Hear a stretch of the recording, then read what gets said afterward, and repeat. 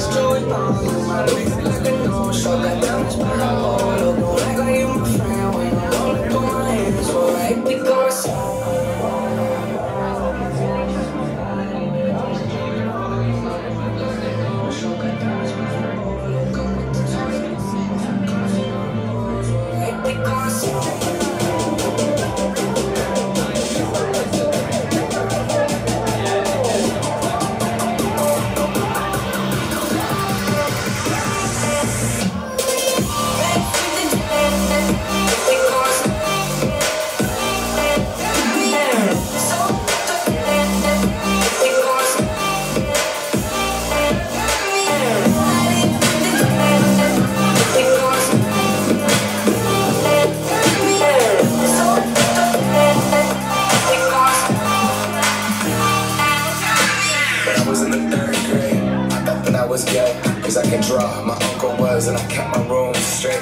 I told my mom, tears rushing down my face. She's like, Ben, you've loved girls since before pre-K. Tripping. Yeah, I guess she had a point, didn't she? Bunch of stereotypes.